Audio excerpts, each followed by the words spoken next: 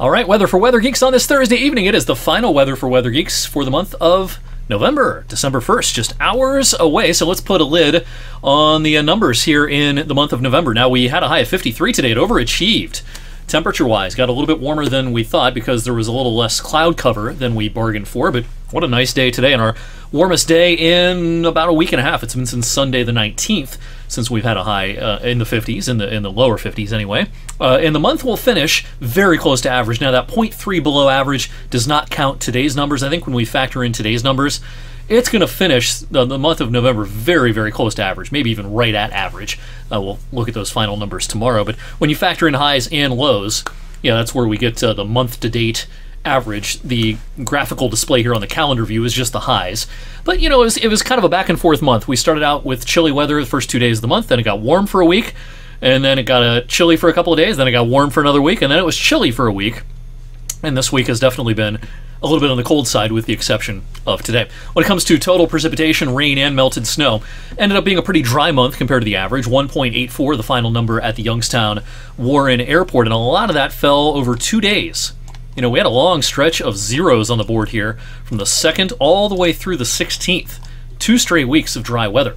But we had a couple of wetter days on the 17th and 21st, making it so that, you know, the, the, the deficit for the month, not anything crazy, but still over an inch uh, below the average when you uh, look at precipitation totals for the month of November. Let's look ahead to December. Let's start with precipitation. Today's update from the Climate Prediction Center, part of NOAA, the National Weather Service, the U.S. government, in other words, um, showing our area kind of in the equal odds for precipitation. It could go either way or it could be very near average.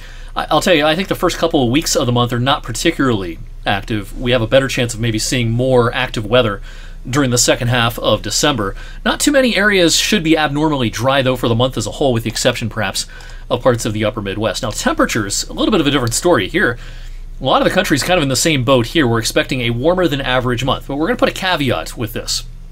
I do think, and I, I touched on this some evening, or uh, last evening, I should say I touched on it some last evening on Weather for Weather Geeks. Um, you know, I think this map is very heavily weighted towards the first half of the month. I think in our area and many places in the east, there will be more opportunities for cold and stormy weather second half of the month, maybe the last week to 10 days of the month. In other words, right around the holidays. So it probably will come out in the wash as a warmer than average month, but a lot of that warmer than average weather is likely to be during the first half or so of the month of December. You know, a warm December, this is something we expected. It was a key idea in our winter forecast.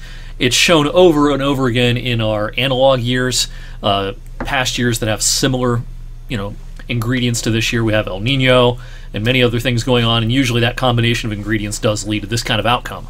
A pretty slow start to the winter season. I kind of suspect, though, the rest of the winter will have a different flavor. And again, it may be a different flavor towards the end of the month. This is just one piece of model data. I could show you a whole bunch of stuff, but we're going to just focus on one piece. Today's run of the extended European model, sometimes we call them the European weeklies. Um, this is for the last week of the month. In other words, Christmas to New Year's, basically. Temperature anomalies. And you see pretty good signals here. A lot of blue, a lot of cooler than average temperatures advertised by the modeling from the mid Atlantic states to the deep south and through the west. All the warmth retreats back up here. And while this is just one piece of modeling on one day, uh, there's been a theme overall going towards this idea in recent runs of the modeling. It makes sense given what's going on in the Pacific and Indian Oceans as far as tropical forcing, as we call it, the convection, the thunderstorm complexes along the equator, way out towards Asia and Australia. Well, those thunderstorm complexes can make the jet stream downstream wiggle and wave and influence the weather across North America, particularly in the uh, winter season.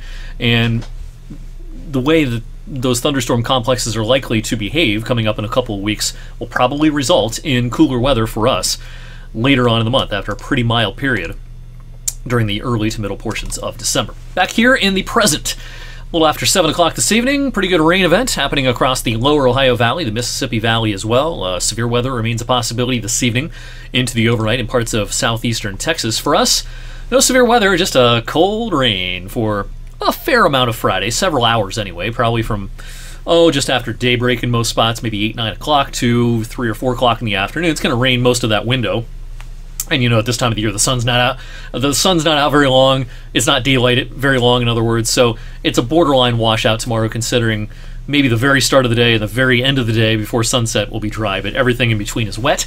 Uh, that said rainfall amounts nothing crazy here. We're talking about a quarter to probably a third of an inch. Pretty good model agreement on our rainfall totals tomorrow. So again if you're an early riser 5 6 o'clock it's probably not raining just yet but it won't be long after that that it'll start raining. Plan on a wet midday period. Now, good news for the end of the day. Now, let's back up our model here to right around 6 o'clock or so. And this is when a lot of people will be coming to downtown Youngstown for the uh, festivities, tree lighting, the parade, uh, the flea market on Phelps, uh, Santa Claus, and all sorts of stuff going on in downtown Youngstown Friday evening. And I do think that while there could be a little fine mist, the steady rain that we'll have had earlier on in the day will be long gone. Um, so while it may be a little bit misty at worst, uh, you know, best case scenario it's just dry. Um, and not that cold either. You know, temperatures have been trending upwards for the end of the day on Friday.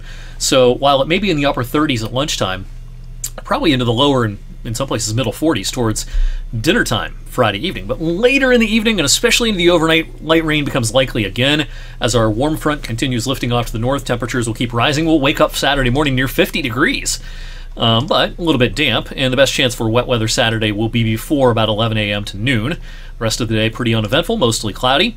And then we'll get into a decent period for the second half of Saturday through the first half of Sunday. But then the second half of Sunday, it's kind of the opposite of Saturday.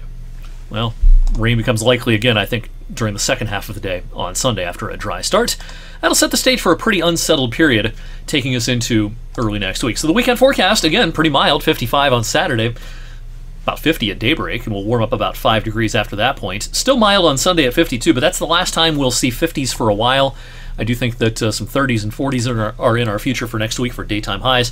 This is today's uh, 6 to 10 day outlook, and you know this this covers a 5 day period, right? Well, I think days 6 and 7 of this, in other words, the tail end of next week in our area, are still a little on the cool side, but days 8, 9, and 10, the following weekend, the second weekend of December, in other words, should feature a pretty good warming trend. So that's why the map kind of looks like it does with, you know, kind of a neutral zone here and a lot of warmth out here.